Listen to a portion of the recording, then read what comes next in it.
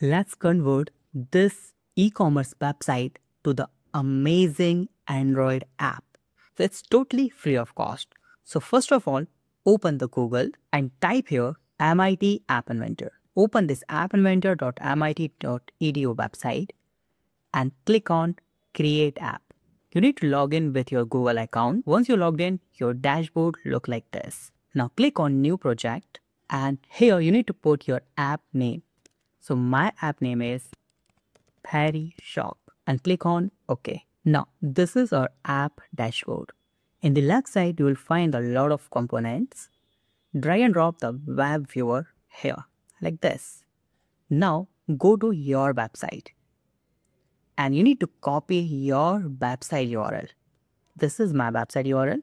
Copy this and go to the app and the right side you will see the home URL. Just paste your URL here. Now click on the screen and in the right side you'll see the option of the screen. Just change this to Harry Shop.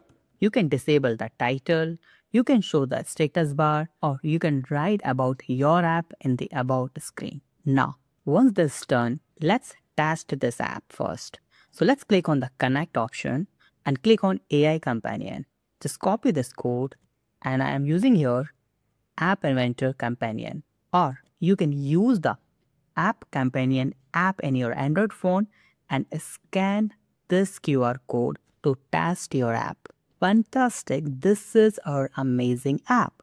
Now let's try this how that app will work. So as you can see here, I can see her product. So let's try this product. Click on this. Now scroll down and click on add to cart and let's click on the view cart and then click on checkout and we need to fill the checkout information and then click on place order. So as you can see here, we can purchase the product from this app. Fantastic. Click on continue shopping. Now go to the MIT App Inventor. Now if you want to build the APK file, so click on build option and click on Android file. Just click on this. So from here, you can download the APK file in your system like this. This downloaded harryshop.apk file or you can scan this scanner to download the APK file or you can share that APK file with everyone. Or if you want to upload this app to the Play Store, so click on build option and download the Android app bundle.aab file and then upload that file to the Play Store.